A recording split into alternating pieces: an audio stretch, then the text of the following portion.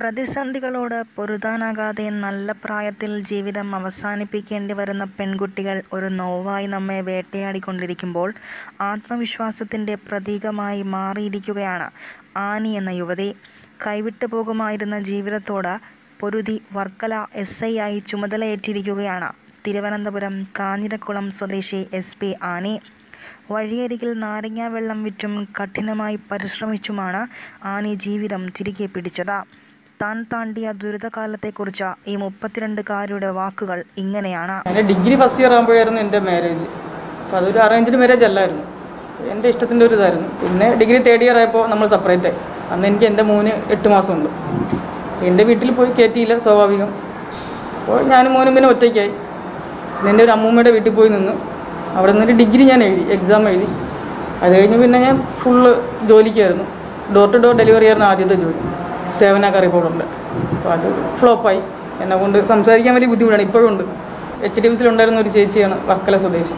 അപ്പോൾ പുള്ളിക്കാരിയുടെ കൂടെയാണ് ഞാനിവിടെ ബിസിനസ് ചെയ്യാൻ വരുന്നത്. നമ്മുടെ ശിവഗിരി തീർത്ഥാടനം. അപ്പോൾ അതിന് സ്റ്റോൾ നമ്മൾ ലേലത്തിൽ പിടിച്ച് നമ്മൾ തന്നെ പന്തലൊക്കെ ഇട്ട് എല്ലാം കെട്ടി നാരങ്ങ വെള്ളവും. പക്ഷെ അത് ഫ്ലോപ്പായി. അങ്ങനെ കുറച്ച് ദിവസം ഇവിടെ ഉണ്ടായിരുന്നു. ആറേഴ് മാസം മൊത്തത്തിൽ അവിടെ ഉണ്ടായിരുന്നു. പക്ഷെ അത് നടന്നില്ല.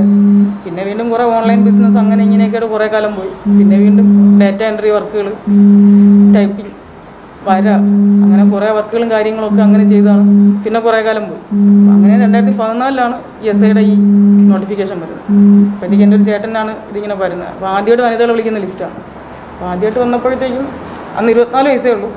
ഇരുപത്തിനാല് വയസ്സിൽ കയറിയാൽ റിട്ടയർഡ് ആകുമ്പോൾ ഐ പി എസ് കിട്ടും. കൺവേർഡ് ഐ പി എസ് ആകാം എന്നുള്ള ഒരൊറ്റ ഡയലോഗിൽ വീണതാണ് അപ്പോൾ അച്ഛനൊക്കെ വലിയ ആഗ്രഹം ഐ പി എസ് ആകുക എന്നുള്ളതായിരുന്നു.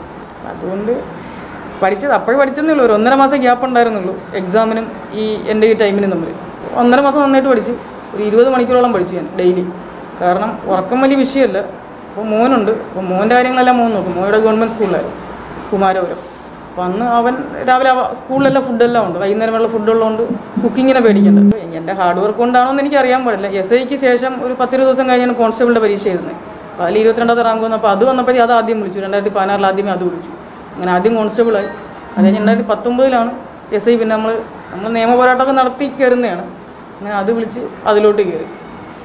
അങ്ങനെ പ്രൊബേഷൻ എല്ലാം കഴിഞ്ഞു.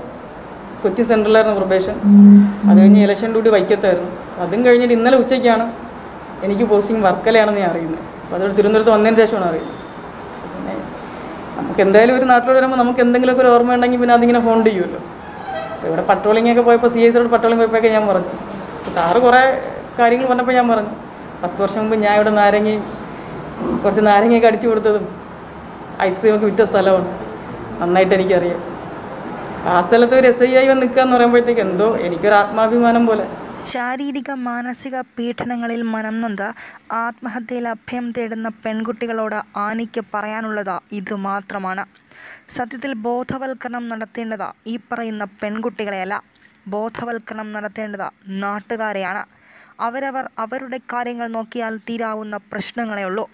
പല മാതാപിതാക്കൾക്കും മക്കൾ തിരിച്ചു വന്ന് വീട്ടിൽ നിൽക്കുന്നത് സത്യം പറഞ്ഞാൽ വലിയ ബുദ്ധിമുട്ടുകളുള്ള കാര്യമായിരിക്കില്ല. പക്ഷെ പലരുടെയും പ്രശ്നം നാട്ടുകാർ എന്തു പറയും എങ്ങനെ പറയും ഇങ്ങനെ പറയും എന്നതാണ്. News desk Mallu one Malayalam